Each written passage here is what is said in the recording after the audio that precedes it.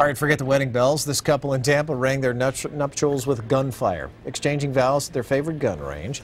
It's certainly not conventional, but to the newlyweds, picking the venue was the easiest part of the wedding. Anjali caught up with the new Mr. and Mrs. today. Uh, interesting, to say the least. That is certainly the truth, Mark. Not the most romantic of venues, but Shooter's World right on Fletcher Avenue is actually where Melissa and Gary Webb's love story started.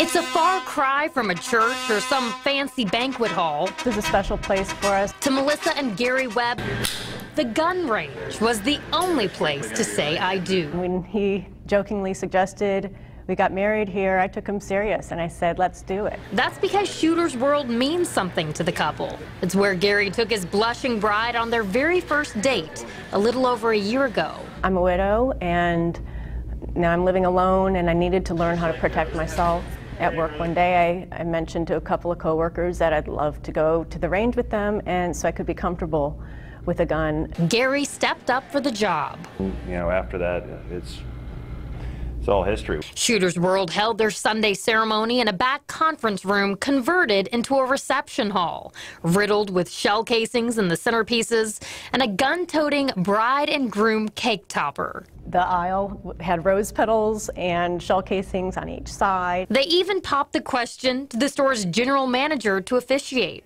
So when they came and brought it up, we kind of thought it was a joke, but I was honored and said, absolutely, we'll do it. With the faint echo of gunfire in the background, the lovebirds said yes to a lifetime of love. Part of my wedding vows were I believe our paths crossed for a reason, and we never understand why things happen the way they do. But for Mr. and Mrs. Webb, it worked out. A shared passion for shooting turned into a lasting love. And what better way to celebrate than with a bullseye straight in the heart? and that was with nerves. I was nervous, but I, I was saying, please let me hit that bullseye, and I did.